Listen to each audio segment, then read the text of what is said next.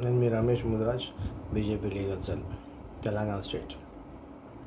ఇప్పుడు చెప్తున్నది ఏంటంటే ఇప్పుడు కేసీఆర్ గారికి ఇప్పుడు హఠాత్తున ఇంత అవసరం ఎందుకు వచ్చిందో అడిషనల్ కలెక్టర్లకి కియా కార్లు ప్రజెంట్ చేయాలని.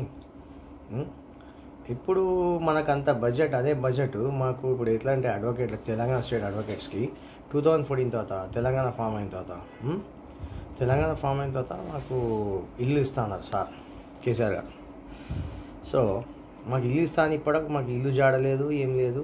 ప్లాట్లు ఇస్తా అన్నారు అడ్వకేట్లకు. ఎందుకంటే తెలంగాణ కోసం అడ్వకేట్లు కూడా బాగా క్షమించారు అని. సో యాజ్ జర్నలిస్ట్ లాగా ఇక మిగతా సంఘాలలాగా చాలా శ్రమించారని ఇస్తా అని ఇప్పటికి జాడలేదు మాకు కొన్ని కొంత ఒక అసోసియేషన్ ఫామ్ చేసి మాకు డబ్బులు కలెక్ట్ చేసారు వెయ్యి చిల్లర కదా కలెక్ట్ చేసారు మాకు. ప్రతి అడ్వకేట్ దగ్గర హైదరాబాద్లో.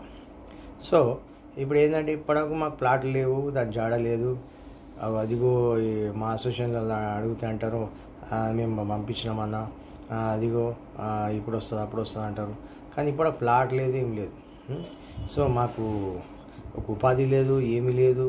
ప్రజెంట్ ఇప్పుడు కరోనా వైరస్ దెబ్బకు ఫస్ట్ డోసు ఏదో వేయించారు నామకి వస్తే సెకండ్ డోసు జాడలేదు. మీరే వేసుకొని మీరే బాధ బాధపడారని అయితే ఇప్పుడు అవన్నీ కాదు. ఇప్పుడు మాకు ఇప్పుడు మాకు ఇల్లు లేక చాలామంది మధ్యతరగతి కుటుంబం కుటుంబం కానీ బీద అడ్వకేట్లు కానీ చాలామందికి చాలా ప్రాబ్లమ్స్ అవుతుంది చాలా ప్రాబ్లమ్స్ ఉన్నాయి. సో ఫోకస్ చేయడానికి ఒక పాయింట్ ఏంటంటే మా అడ్వకేట్స్కి ఇప్పుడు మా టీఆర్ఎస్ ప్రభుత్వానికి మేము వినియోగించుకుంది ఏంటంటే సార్ మాకు ఈ కియా కార్లు ఆ కార్లు ఈ కార్లు లగ్జరీలు పోకుండా మాకు ఫస్ట్ అడ్వకేట్స్కి ఇల్లు ఇల్లు ఇస్తే బాగుంటుంది మాకు. ఇది మేము legal cell BJP legal cell అని కాకుండా మేము మొత్తం అడ్వకేట్లను కలిసి మాట్లాడే మాట అది. అయితే వాళ్ళు ఏమంటారు మేము అక్కడ లెటర్ పెట్టినామన్నా ఇక్కడ లెటర్ పెట్టినాం. అప్పుడు ఇందిరాకరణ్ రెడ్డి సార్ కూడా శంకుస్థాపన చేసిండ్రు. సో మేము డైరీలు కూడా ప్రతి ఇయర్ ఇస్తుంటాము. మా అడ్వకేట్ డైరీలు హౌసింగ్ సొసైటీ తరఫున. ఆ, మన సో మన మిత్రులందరూ దానికి చాలామంది వెయిట్ చేస్తుండ్రు ఇప్పుడు. ఇంకా ప్లాట్స్ చేయాలి ప్లాట్స్ చేయాలి అన్న అన్న. ఆ ప్రాబ్లం ఏంది ఇది ఏంది అని. సో అందుకని నేను ఫేస్బుక్ లైవ్లో వచ్చినాను.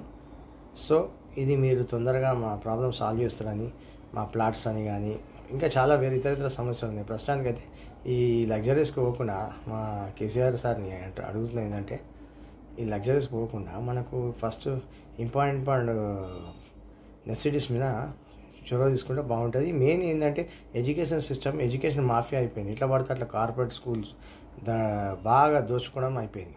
ఈ ఫీజులు ఎట్లా పడితే అట్లా. దాన్ని కంట్రోల్ పెట్టాలా సార్ కేసీఆర్ గారు నెక్స్ట్ ఇది ఇంకోటి ఏంటంటే నెక్స్ట్ మెడికల్ బిల్స్ ఓకే అది నేను వాట్సాప్లో కూడా చూస్తున్నా.